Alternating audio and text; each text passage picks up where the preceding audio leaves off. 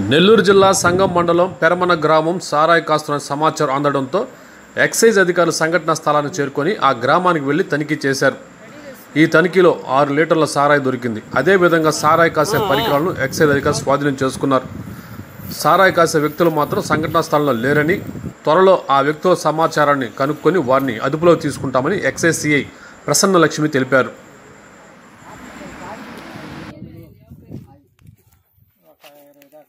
Video కానీ photo తీయమంది. పో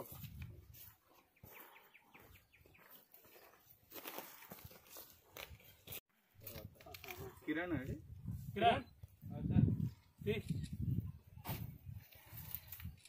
రాజేష్? బుచ్చిరెడ్డిపాలెము ఇవాళ ఎరమన విలేజ్లో సారాయి కాస్తున్నారని చెప్పి ఇన్ఫర్మేషన్ వచ్చింది. దానికి అనుసరించి ఎరమన విలేజ్కి నేను నా స్టాఫ్ రావడం జరిగింది. ఇక్కడ పోరంబోక్ ల్యాండ్లో ఒక మూడు డ్రమ్ములు నిండుగా రెండు వందల లీటర్లు వాష్ దొరికింది. ఒక్కొక్క డ్రమ్లో రెండు వందల లీటర్లు ఆరు వందల లీటర్ల డ్రమ్ వాటిని వాటికి సారాయి గాయడానికి ఉన్న యూటెన్సిల్స్ కూడా దొరికింది. అవన్నీ పట్టుకోవడం జరిగింది. ఇది ఎవరనేది ఇంకా ఇన్వెస్టిగేషన్లో ఫర్దర్ ఇన్వెస్టిగేషన్లో తెలుస్తుంది ప్రస్తుతానికి మాత్రం వాష్ ఇక్కడ డెస్ట్రాయ్ చేసి నీట్ యూటెన్సిల్స్ అన్నీ తీసుకొని స్టేషన్కి వెళ్తుంది ఉన్నట్టు మీకు ఇన్ఫర్మేషన్ ఉంటే మాకు తెలియపరిస్తే కేసులు బుక్ చేస్తాము.